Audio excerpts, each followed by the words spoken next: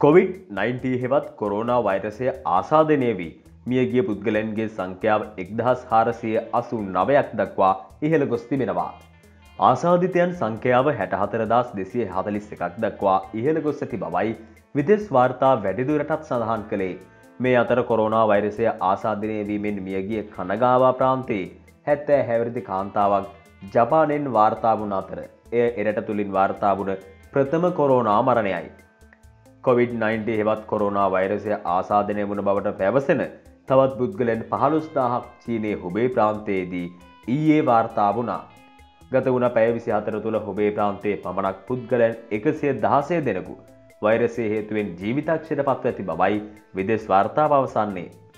මාරන්තික virus පාලනය කිරීමට අපහොසත්වනොත් ලෝක ජනගහනෙන් සියයට හැටකට පමණ එය ආසාධනය වීමේ අවධානමක් පවතින බවද හොන්කොන් හි සෞඛ්‍ය ප්‍රධානී මහාචාරය ගේබ්‍රියල් ලියුන් අනතුරු අඟවා තිබුණා. මේ අතර චීනයේ දියතලාව යුද හමුදා කඳගුරේ නිරෝධායන මධ්‍යස්ථානය රඳවා සිටින තිස්තුන් දෙනා අද යුද හමුදාපතුවරයා හමුවීමටත් නියමිතයි.